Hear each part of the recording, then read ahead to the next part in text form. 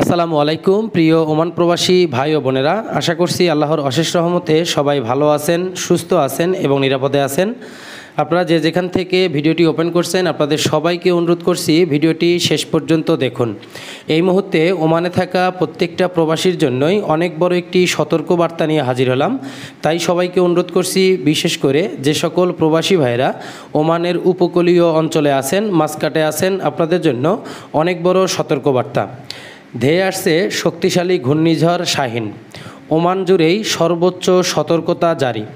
আজ দুই অক্টোবর দুই হাজার একুশ। প্রাকৃতিক দুর্যোগ যেন কিছুতেই থামছে না।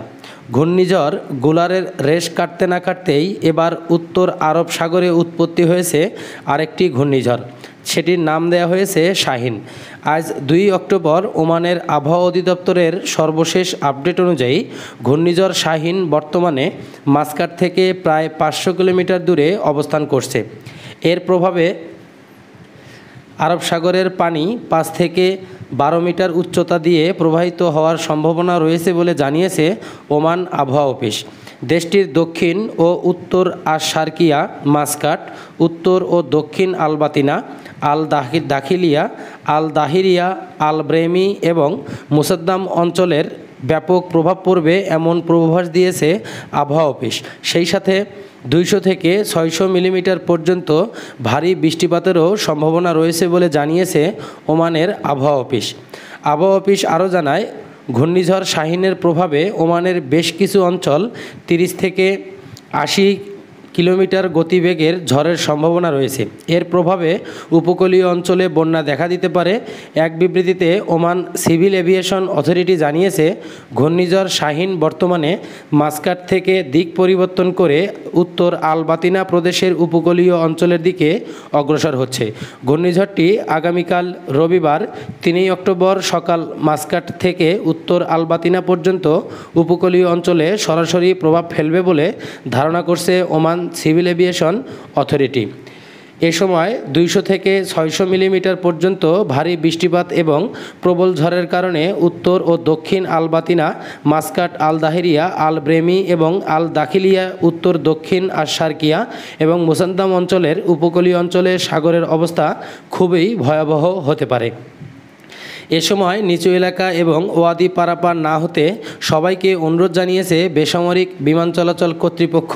সেই সাথে পরবর্তী নির্দেশনা না দেওয়া পর্যন্ত মাছ ধরার জন্য সকল জেলেদের সমুদ্রে না যাওয়ার পরামর্শ দেওয়া হয়। এদিকে ভারতের আবহাওয়া অফিস জানিয়েছে, আগামী বারো ঘণ্টার মধ্যেই আরও শক্তিশালী হবে এই ঘূর্ণিঝড়। আর এর প্রভাবে আগামী তিন দিন ভারতের সাত রাজ্যে ভারী থেকে অতি ভারী বৃষ্টির সম্ভাবনাও রয়েছে। দেশটির আবহাওয়া অফিস সূত্রে জানা গেছে, গোলাপ থেকেই সৃষ্টি হয়েছে শাহিনের। ইতিমধ্যেই গত ছাব্বিশ সেপ্টেম্বর উড়িষ্যা ও অন্ধ্রপ্রদেশের উপকূলে তাণ্ডব চালিয়েছে গোলাপ। তিনজন মারা গেছেন এই দুর্যোগে। তাই আর এবার ঘূর্ণিঝড় শাহিনের আগেই সতর্কতা রেইন অ্যালার্ট জারি করা হয়েছে ভারতের কেরল, কর্ণাটক, গুজরাট, তামিলনাড়ু, সিকিম, বিহার ও পশ্চিমবঙ্গে। আগামী তিন দিন শাহিনের প্রভাবে ব্যাপক বৃষ্টিপাত এবং ওই সাত রাজ্যে হওয়ার সম্ভাবনা অনেক বেশি। আজ শনিবার সকাল থেকেই অতি শক্তিশালী ঘূর্ণিঝড়ে পরিণত হবে শাহিন। এরপর ক্রমশই উত্তরে আরব সাগর থেকে পাকিস্তান হয়ে ইরান উপকূলের দিকে সরবে এই ঘূর্ণিঝড়টি।